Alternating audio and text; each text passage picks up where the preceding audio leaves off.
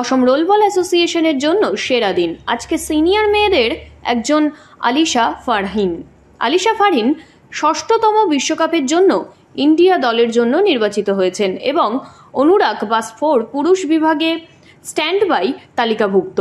একুশ এবং ছাব্বিশে এপ্রিল দু হাজার তেইশ পর্যন্ত পুনেতে বিশ্বকাপ অনুষ্ঠিত হবে। আলিসা বর্তমানে জোরহাট কৃষি বিদ্যালয়ে অধ্যয়নরত। আমরা আসাম রোলবল অ্যাসোসিয়েশন বিশ্বকাপে আলিশার জন্য দুর্দান্ত সাফল্য কামনা করছি। আমাদের সম্প্রচারিত খবর যদি আপনাদের ভালো লেগে থাকে তাহলে অবশ্যই আমাদের চ্যানেলটি সাবস্ক্রাইব করুন। ইউ বাংলা টিভি হৃদয় ছুঁয়ে যায়।